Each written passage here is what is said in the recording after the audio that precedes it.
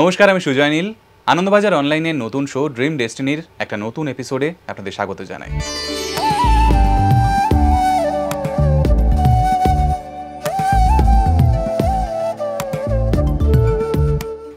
আজকে আমাদের সঙ্গে আলোচনায় রয়েছেন শ্রী মণি ভাস্কর। হ্যাঁ নমস্কার। আমরা ফেসবুকের পাতায় পোস্ট করেছিলাম যে আয় হচ্ছে না সম্পর্কে অবনতি।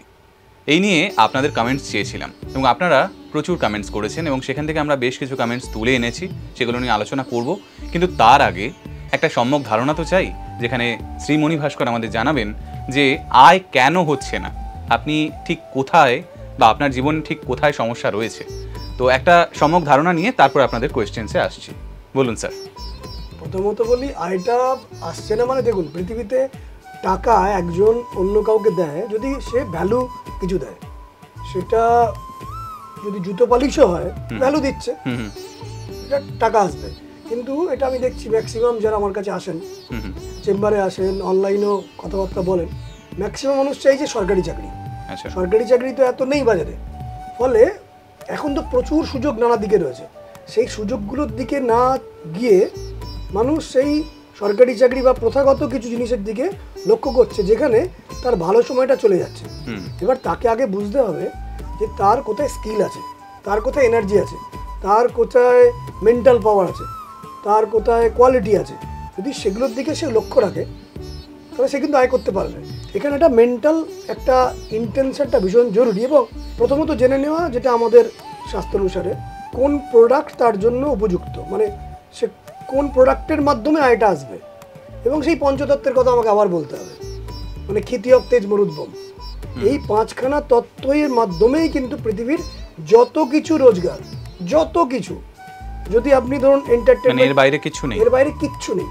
এবং এই পাঁচখানা যে তত্ত্ব সাংখ্য যোগ দর্শনেও রয়েছে। সময় পেলে আমি আজকে বা পরে কোনো অনুষ্ঠানে জানাব।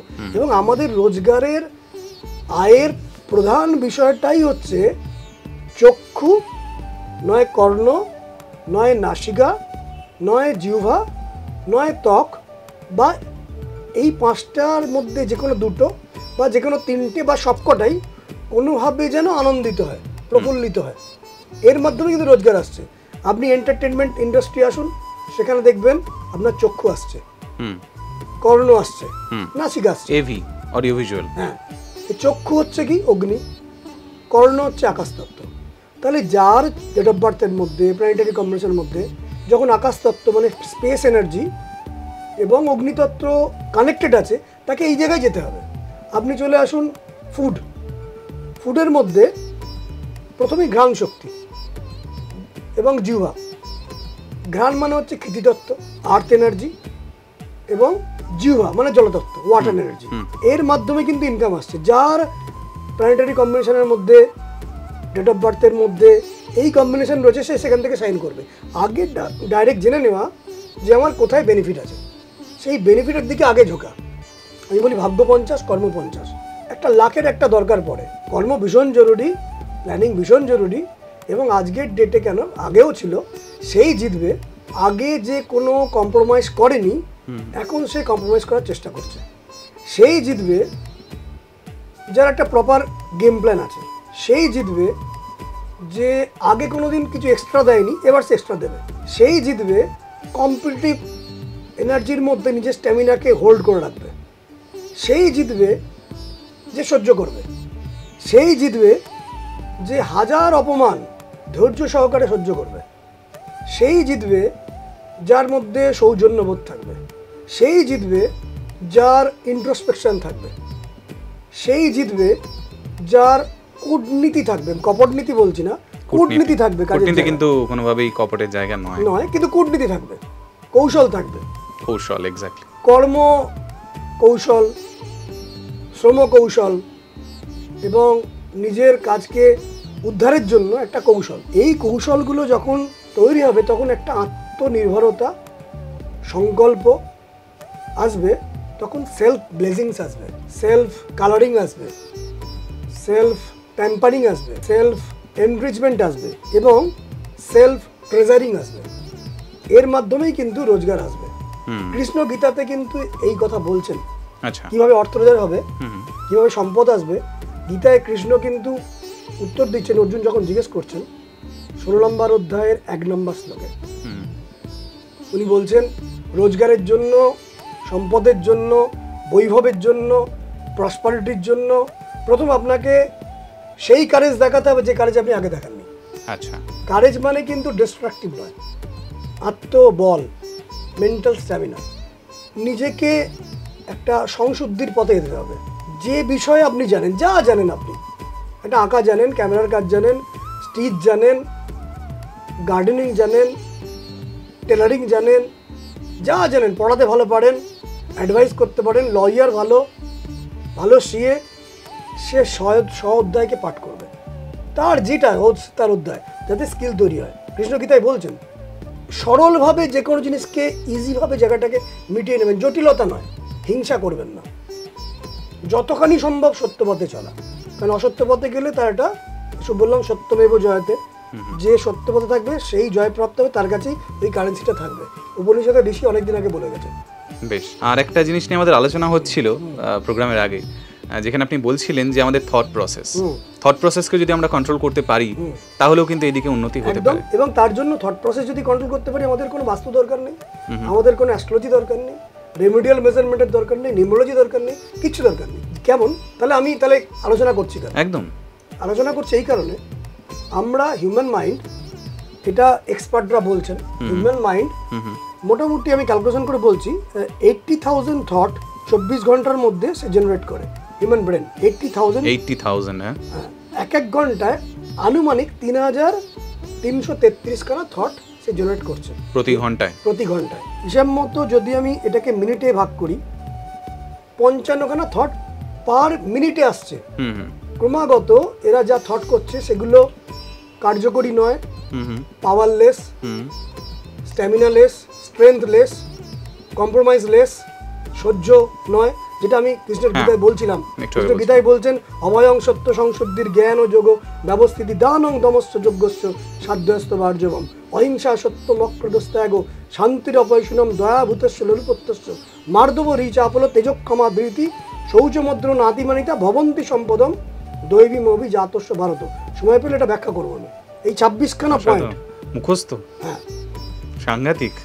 অভয়ং সত্য সংশুদ্ধি কারেজ সত্য পথে থাকা নিজেকে পিউরিফাই করা সংশুদ্ধি জ্ঞান ও যোগ জ্ঞান যোগে থাকা ব্যবস্থাপনা করে চলা দানং দমস্য দান স্যাক্রিফাইস করা নিজেকে দমন করা যজ্ঞস্য এগেন স্যাক্রিফাইস কিন্তু এই যে আমরা থট যে আশি হাজারখানা থট আমরা পার ডে করছি মানে পার মিনিট হচ্ছে পঞ্চান্ন খানা থট এই থটের এই থট দিয়ে কিন্তু আমার এনার্জি আসছে না। যদি আমি সেটাকে চব্বিশ দিয়ে ভাগ করি পাঁচশো খানা থট দিনে সে পার ঘন্টায় করছে।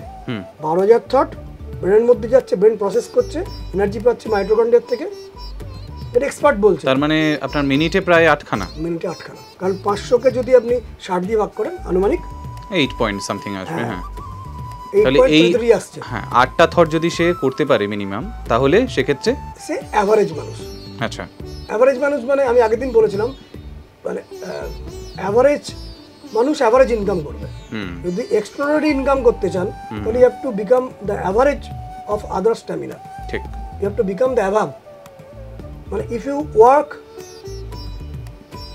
on your job you will get the living if you work on your job you will get the living but if you work on yourself you will get the fortune ফলে এই যদি এই আটখানা থটকে ক্রমশ পাঁচ দিনেতে এনে দেওয়া যায় সে মানুষ নিজেই পারে করতে। তাহলে তার কাছে রোজগার আসবে এমনি অ্যাট্রাক্ট করবে। কারণ সেই থটটা সে তো কনজিউম করছে পৃথিবীতে এনার্জি কিন্তু আটকানো রাখা যায় না। ওই বাকি যে এক্সট্রা তিনটে কি চারটে এক্সট্রা থট সে কনজিউম করে রেখেছে সেটা কিন্তু অ্যাট্রাক্ট করবে মানি সেটা অ্যাট্রাক্ট করবে প্রসপারিটি সেটা অ্যাট্রাক্ট করবে এনকারেজমেন্ট অ্যাট্রাকশন না আলটিমেটলি আই এফেক্ট করবে। তো কিছু প্রবলেম যেটা আমরা তো সবাই ওই থটটা করতে পারছি না। ঠিক। তখনই কিন্তু আমাদের এই টুলগুলো লাগবে। তো যারা করতে পারছেন না সেরকমই কিছু মানুষ কিছু বন্ধু আমাদের কমেন্ট করে জানিয়েছেন আনন্দবাজার অনলাইনের পাতায়। প্রথম প্রশ্নটা নিই। উনি বলছেন অর্থনৈতিক অবস্থা স্থিতিশীল রাখতে বাড়ির কোন দিকে মানি প্ল্যান্ট গাছ রাখা উচিত? দয়া করে জানাবেন। উনি কিন্তু ডেট অফ বার্থ জানাননি। ডেট অফ বার্থ আমি প্রত্যেকে জানাতে বলব এবং টাইমটাও জানাতে বলব। নচেত আমি তা সে কোন এলিমেন্টের বুঝতে পারছি না। কিন্তু এটা বোঝাই যেমন আগে ইন জেনারেল ইন জেনারেল বোঝাচ্ছি। স্পেস এটা বলা হয়েছে যদি আপনি ঋগ্বেদ দেখেন স্পেস বলছে স্বর্গ নির্মাণ হয়েছে তাম্র মানে কপার এবং গোল্ড। নরক নির্মাণ হচ্ছে লোহার দ্বারা। তাহলে স্পেসকে ধরা হচ্ছে মেটাল নয় গোল্ড নয় কপার নয় আয়রন এবার এই যে স্পেস উনি বলেন মানি প্ল্যান্ট মানি প্ল্যান্ট মানে গাছ মানে এয়ার এনার্জি এবার কোনো একটি গাছকে যদি আমি ডাইরেক্ট সোনার কোনো বাটির ওপর তামার বাটির ওপর লোহার বাটির ওপর রেখে দিই গাছটা কি বাড়বে? ঠিক। নো গাছ বাড়বে? বাড়বে না কিন্তু। সেখানে it need some sunshine soil extra extra আরও কিছু ওয়াটার আরও কিছু এনভায়রনমেন্ট দরকার। খালি সোনার বাটির ওপর গাছ রেখে দিলাম গাছটা মরে যাবে। তাহলে স্পেস এনার্জি হচ্ছে পশ্চিম দিক।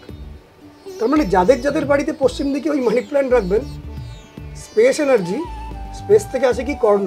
হুম। শ্রবণ ক্ষমতা প্ল্যানিংয়ের ক্ষমতা গেম প্ল্যান লক্ষণ রেখা এগুলো নষ্ট হবে। নেক্সট তাহলে মানি প্ল্যান্ট আর কোথায় রাখা যেতে পারে? পূর্ব দিকে রাখা যেতে পারে। কারণ পূর্ব দিক হচ্ছে রেপুটেশনের জায়গা যদি রেপুটেশন চায় যদি অর্থ চায় অপরচুনিটি চায় সে উত্তর দিকে রাখবে। এবং আমি আমার সবাইকেই বলি যদি আপনি একটু অর্থ চান ট্রাই করে দেখুন মজা করে দেখুন যে ওয়াটার এনার্জি হচ্ছে উত্তর দিকে।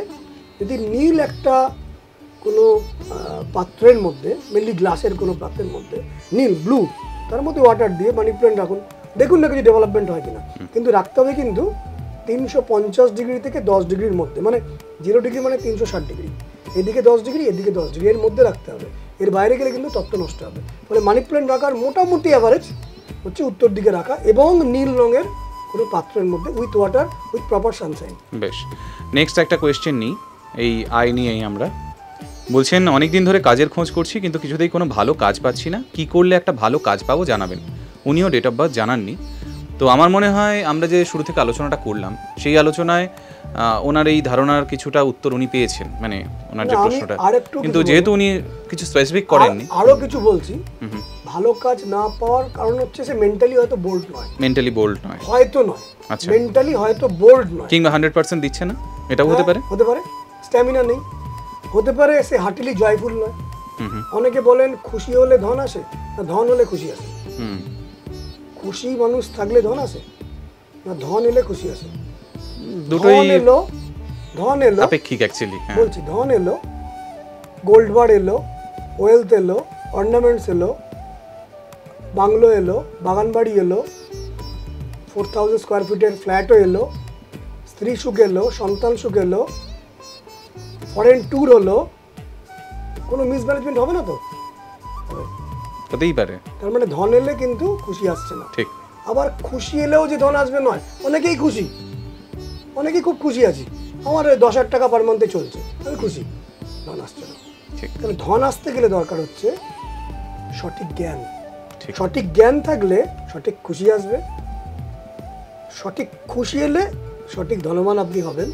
কারণ এটা চাণক্যের বচনে আছে যে জ্ঞান বুদ্ধিকে স্থির করে।